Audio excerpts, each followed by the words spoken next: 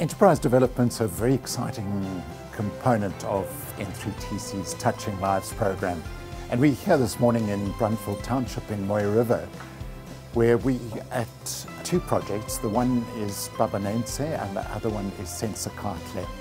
They're textile operations.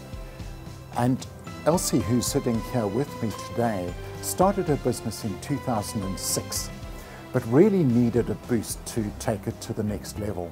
We work for so long. We are trying to do the work for church's uniform. After that, we are going to school to speak with the teacher to do a school uniform. We have got a, a lot of schools who work together with them. Our problem is the money to, to run the business. We need to, to do a shelf and office to put our stuff inside. But we need the big machine for embroidery because we have got a lot of schools now. And let's say we are happy with N3TC because they help us to many, to many things. They help us to make an office, they help us to buy the machines, and they help, they help us to buy the big machine for embroidery. My vision is to know, to see the factory is growing and many cars come to buy my things in my factory because I need to be a, a woman's lady, make a big factory is my vision.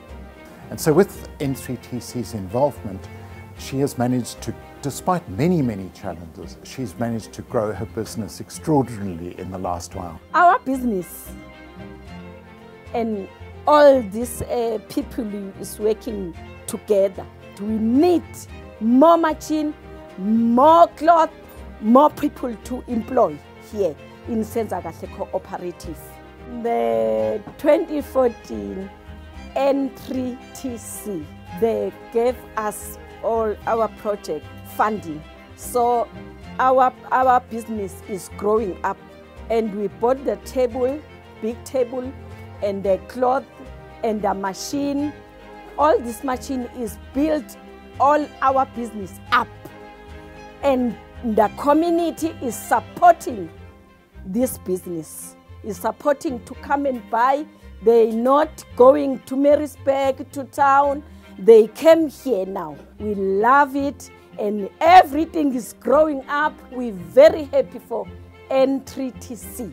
I must admire the resilience and the incredible tenacity of uh, Elsie and and Tombi next door as well, with the way in which they've managed to keep going despite so many challenges. So as the businesses have grown, they actually at, at present are outgrowing their premises and that's a wonderful problem to have. So we're incredibly proud to be involved with them and to watch their businesses grow over the years.